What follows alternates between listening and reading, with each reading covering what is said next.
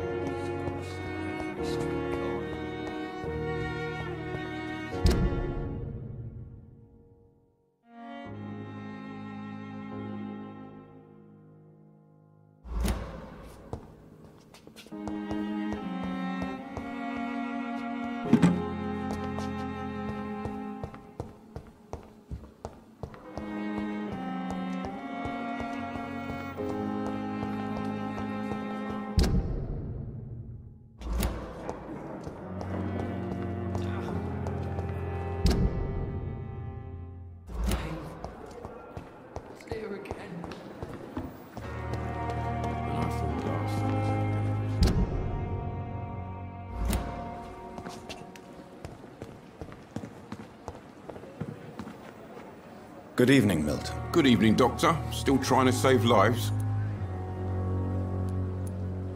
I have some good news, Milton. What?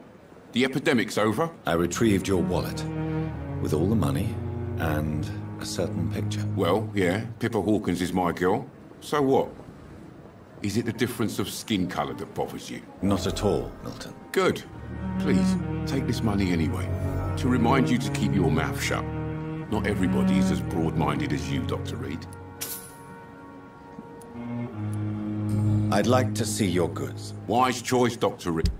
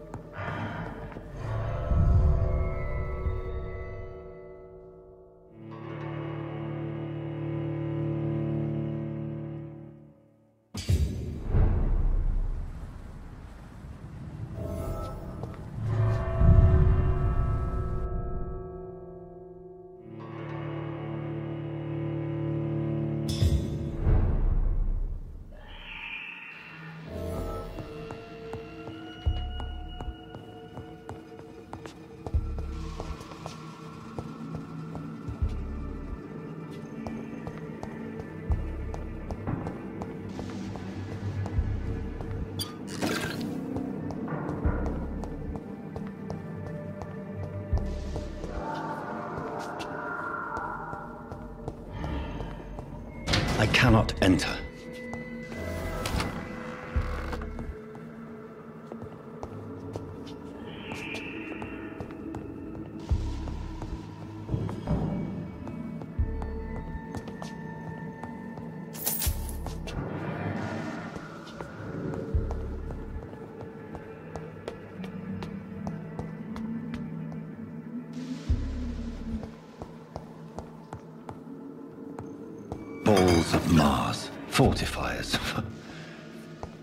Popular as they are ineffective. But they do contain iron tartrate, and that might prove itself useful.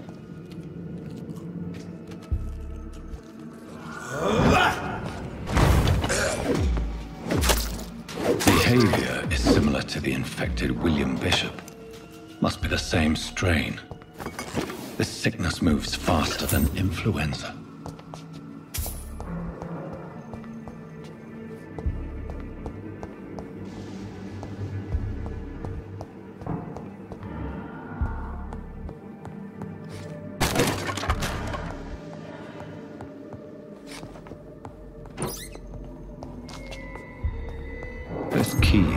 Surely grant me access to the basement.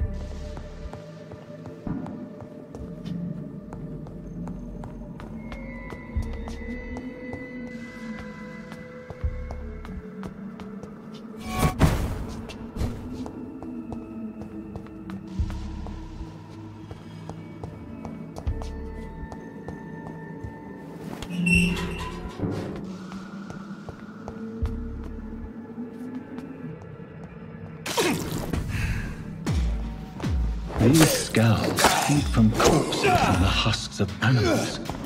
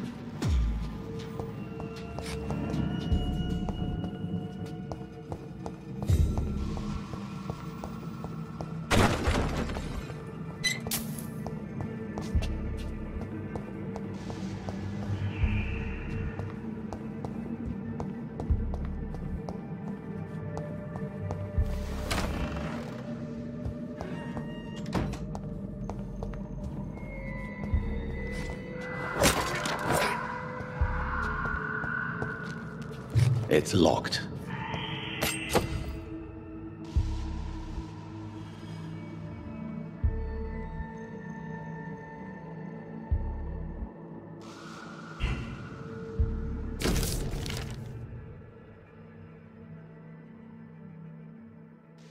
Mr. Connor's injuries don't match the report.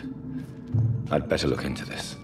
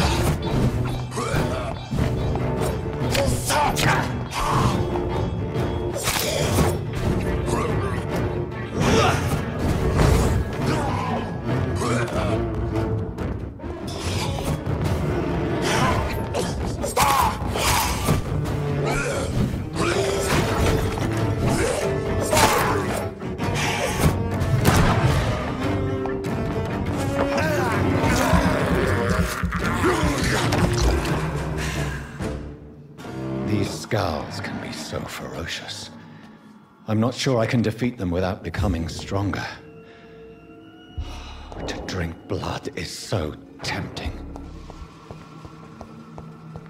Sodium hypochlorite. Dangerous to administer, but efficient in the proper dosage.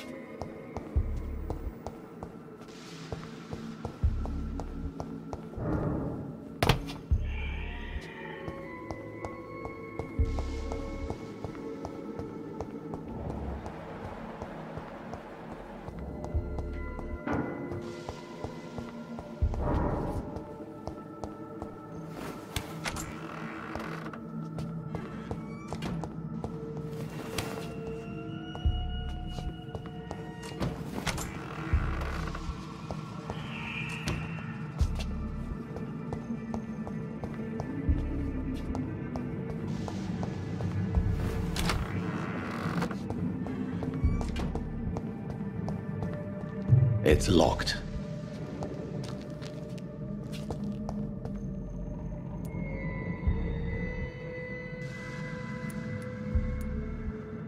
Multiple abrasions and scarring on the arms and legs. Old and distinctive injuries of a sailor or a fisherman. Traces of a pinkish foam at the corner of the lips. Some sort of drug overdose, perhaps? The chest was originally opened to perform the operation. The sutures are clean, but the chest has been reopened. A puncture over the left lung, possibly a chest tube insertion. Not the cleanest work, but I think it was successful. Signs of internal bleeding. So, Dr. Tippett's anesthetics were incorrectly dosed, causing the patient's death. And then he tried to operate on him again. Tippett has made an egregious error. It's time we talked.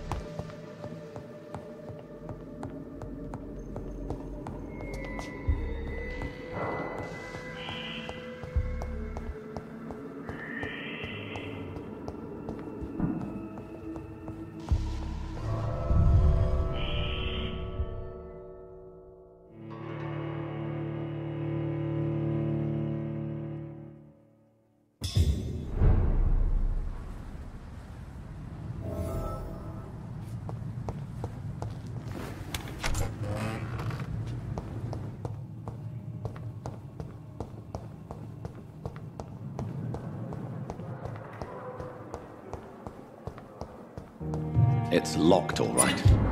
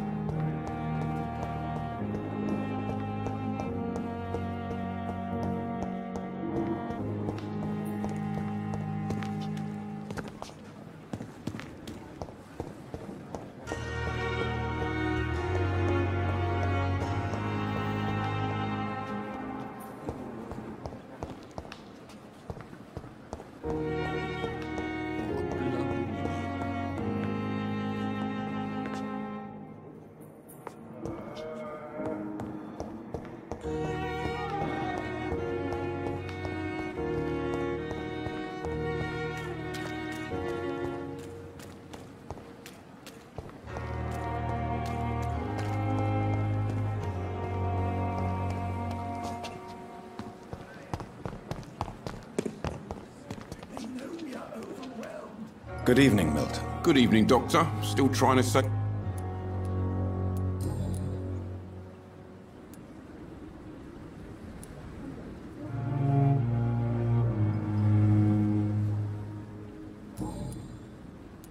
I'd like to... Wise chalk...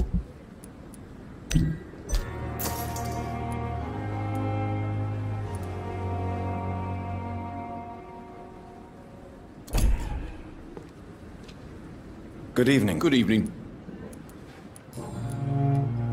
Tell me why you're extorting money from some of the patients here. If a patient wants a bed, he'll have to pay me a little fee. That's all. Where did you get the idea for such an immoral scam? Funny you should ask. The first time it was from a patient who bribed me to get a bed. It's only then I realized I could make a fortune. Admit it. Nurse Hawkins is more than your lover. She's also your partner in crime. Of course she is. How else could I tell which bed is free? I need to know that. Have you no shame? Don't you see this city is crumbling down? Today people are ready to pay to get a hospital bed. Tomorrow we may be fighting for food. What's going on between you and Nurse Hawkins? Pippa's tired. Tired of all this shit. Tired of all those corpses piling up. She's as depressed as I am. During the war, I witnessed a few couples just like you come together in difficult circumstances. It can be very damaging. Maybe you're right. But we support each other. And that's all that matters. You do realize you could both get fired. Hospital staff are not meant to have intimate relationships with one another. Come on, Dr. Reid. Do you know how many rules are broken in this hospital every day just to keep it running? There's nothing wrong with what we're doing.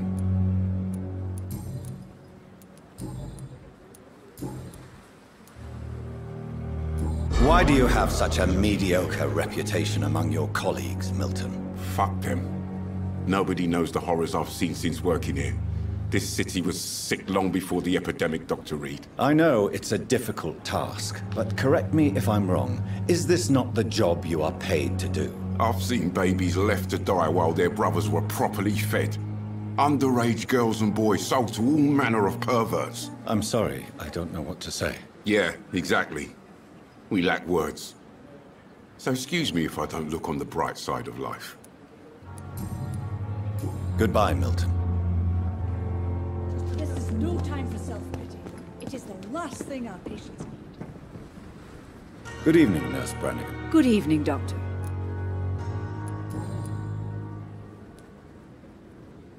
Why does Dr. Tippett claim you're the main reason he keeps working, despite his fatigue? If it wasn't for him, I probably would have left the Pembroke years ago.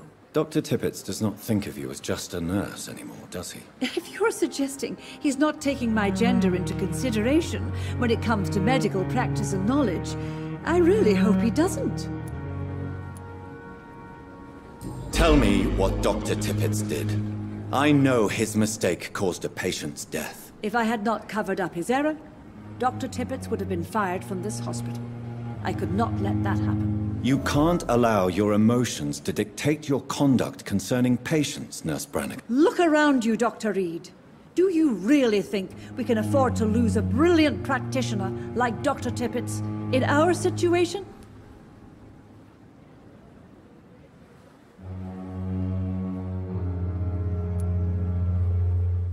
I can't say I approve of what you did. But as a field surgeon, I know that some situations require you to bend the rules. I'm not proud of what I've done, but to contain the epidemic must be our priority, so we can't afford to lose Dr. Tippett.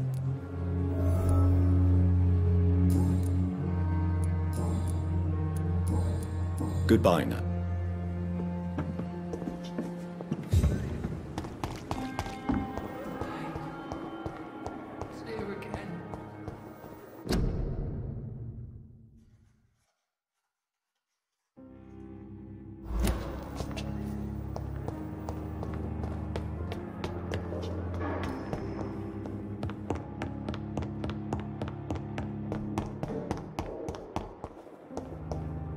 It's locked.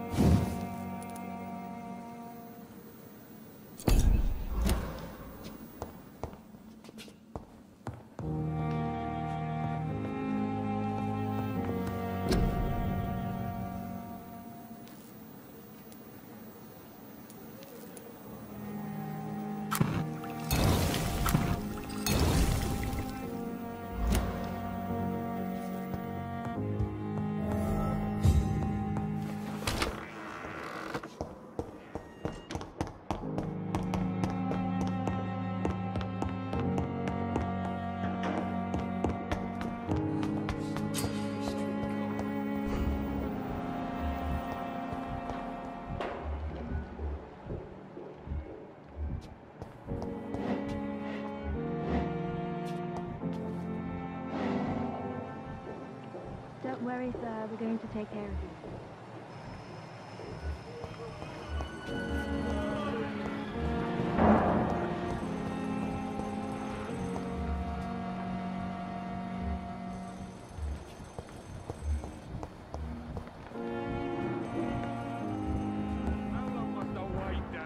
Blaming me will not further your agenda, sir. How long's it going to take to fix me properly? A month? A year? You have the right to disapprove of our methods. Finally, you've returned, Doctor. Did you find anything of value? Yes, nurse. You've worked your first miracle, Doctor. Now, this patient here needs immediate treatment. Duty calls. When the storm has passed, I'll show you how to mix the remedy yourself with the same basic ingredients. Many thanks, Doctor. When you've finished, you ought to report to Dr. Swansea in his office. He's been looking for you. Seemed pressing.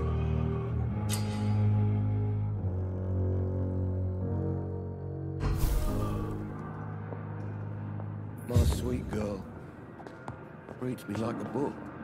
Never could keep anything. Good evening. I'm okay. Do you need any help? I'm afraid I may, sir. I don't mean to be a burden. You are not a burden, sir. Healing you is my responsibility. And you have my gratitude for that.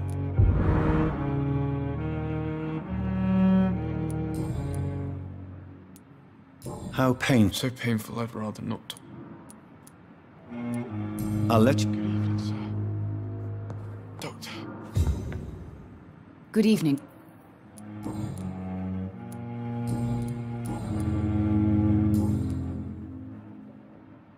Goodbye, Mrs. Goswick. Don't waste your time with me. Come now, we can handle this. Good evening. Good evening.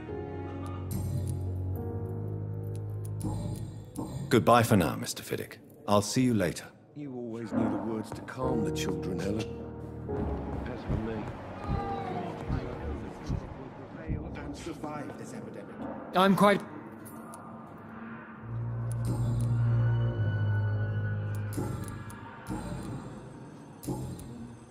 Thank you for your...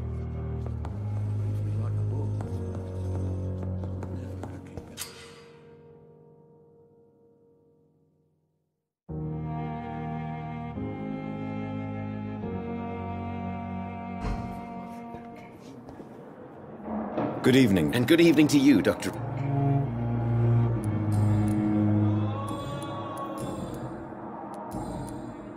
Goodbye.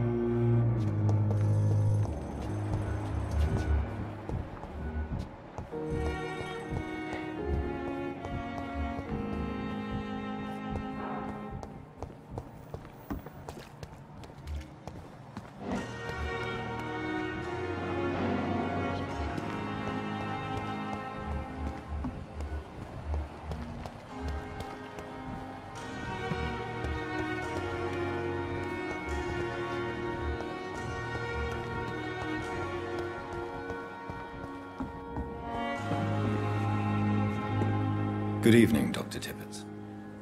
Dr. Reid, any good news to share?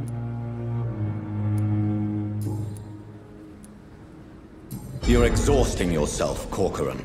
Maybe you should think about preserving your strength. No. We must keep on healing all those poor souls. We are the last rampart before chaos. Once more unto the breach.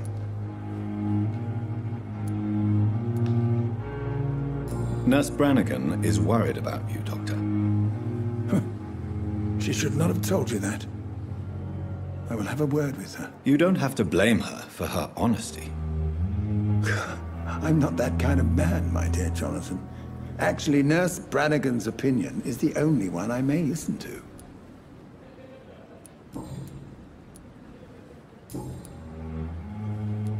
Corcoran, I want you to tell me about Mr. Connor. How did he die? What happened? He was my patient. He died because of my mistake. That's the blunt truth.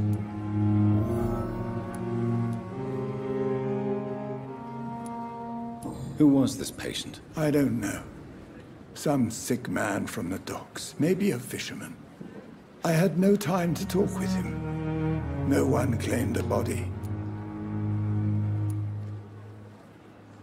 What was the nature of the mistake? It was a twofold error. My diagnosis was wrong, and the administered dosage was too strong. Why not stop practicing? Are you mad? I killed that man, I admit it, and it won't happen again. I have saved so many lives since then.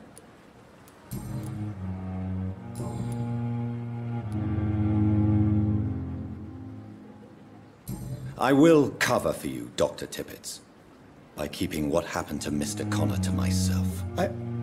I don't know what to say, actually.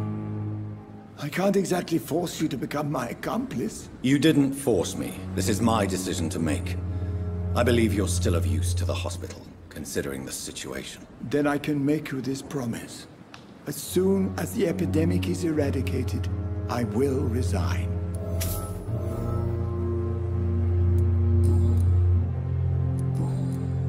Goodbye, Dr. Tippett.